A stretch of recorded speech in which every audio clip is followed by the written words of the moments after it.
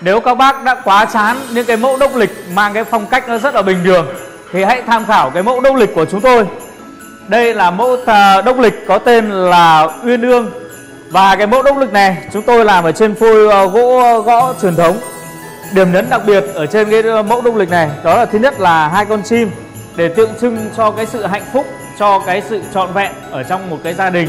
Và thứ hai đó là bông hoa mẫu đơn cùng với bông hoa mai bởi vì à, trong ngày Tết thì không thể nào mà thiếu được cái hoa mai. Hoa mai tượng trưng cho mùa xuân tượng trưng cho những cái điều mới mẻ và tượng trưng cho sự bắt đầu. Còn hoa mẫu đơn thì tượng trưng cho phú quý cho những cái điều tốt đẹp và cho cả những cái điều nó mang cái tính phong thủy tốt lành. Cho nên là tổng hòa trên bức tranh uh, đốc lịch này thì uh, chúng tôi để cái phần thoáng ở bên dưới để uh, các bác uh, đặt một cái đốc lịch vào bên trong.